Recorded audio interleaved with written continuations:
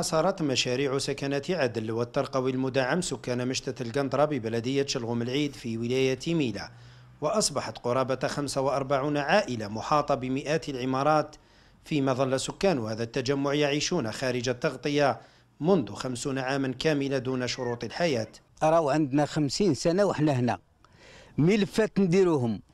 واحد ملف ما يبان. يقول لك كان يقول لك خارج على ال plan d'urbanisme دخلنا في البلان ديربانيزم في 2008 من 2008 ما دار عندها حتى واحد إلا هالمره كي جا كي جا الوالي به هذا كان ضربوا دورات وأنا بالذمة باه يستدير باه يرقدونا. تعيش العائلة هنا فقط لتبقي حياتها مستمرة وقابلية التعايش هاته اقتضت عليهم النوم تحت أسقف الترنيت والكهرباء شبه المنعدمة والحفر الصحية. أنا في الخمسين سنة وأنا هنا. و- وأنا في الهم ال- في- في الهم الأكبر. عندي زوج بنات. يتامى مات بويهم وخلاهم نطلبوا من السلطات لازم يديروا لنا الحل في أقرب وقت. ما فيهاش نقاش خلاص ما قدرناش نصبروا. الأولاد يهبطوا منا ريسك. آه، تخاف من الكلاب تخاف من الطريق. الشكاوى المتتالية للسكان.